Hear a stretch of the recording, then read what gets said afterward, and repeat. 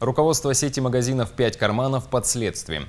Директор, главный бухгалтер и еще четверо руководящих сотрудников задержаны. Их подозревают в уклонении от уплаты налогов в особо крупном размере.